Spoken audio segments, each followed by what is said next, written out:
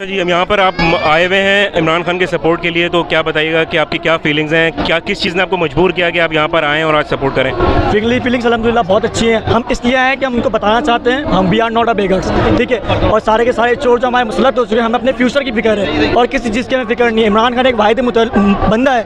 कायद के बाद हमें एक ऐसा लीडर मिला है जो हमारे मुस्तकबिल के लिए खड़ा हुआ है। ठीक है तो फिर आप देखें इतनी सारी आवाम निकली है यहाँ पर और इसमें सुप्रीम कोर्ट ने इस तरह का फैसला दिया है तो आप उस बारे में क्या कहना चाहेंगे? आपकी क्या फीलिंग है? सुप्रीम कोर्ट ने आपको क्या, आपको मायूस किया या आप ये समझते हैं कि नहीं सुप्रीम कोर्ट की मजबूरी थी, उन्होंने आइन के मुताबिक काम किया? नहीं, उन्होंने मायूस मायूस किया जब भी हम इस फॉर्म पे खड़े हुए इतने केसेस पीछे सुप्रीम कोर्ट के पास पड़े हुए शहबाज शरीफ के, हमजा शहबाज के पचास पचास केसेस रखे हुए इमरान खान को रात बारह बजे कौन सी अदालत कहती है? कौन से, आपका लॉ कहता है कि आप बारह बजे रात सुप्रीम कोर्ट ऑन करो।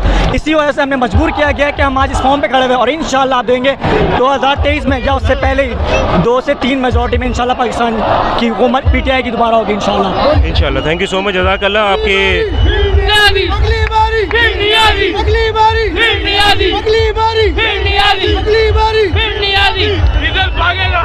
अच्छा जी तो हमारे साथ यहाँ पे काफ़ी जोश में पुरजोश जो लोग हैं वो मौजूद हैं। हर तरह का तबका यहाँ पर मौजूद है। यहाँ पे नौजवान भी हैं बुज़ुर्ग शहरी भी हैं खवातीन हैं फैमिलीज़ आ रही हैं। अपनी ज़िंदगी में मैं पहली बार किसी एहतजाज में किसी जलसे में आया हूँ। I never came out of my house in my life ये पहली बार निकला हूँ मैं। सर मैं आउट ऑफ़ कंट्री से आया हूँ। ये मुल्क से बाहर मैं कतर से आउट ऑफ़ कंट्री से आया हूँ दोहा कतर से।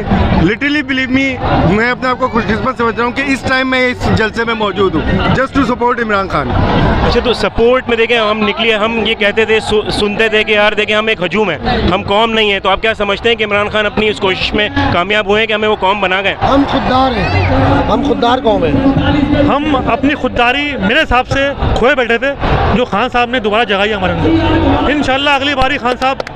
इंशाल्लाह। अगली बारी। फिर नियाजी अगली बारी। फिर नियाजी अगली बारी।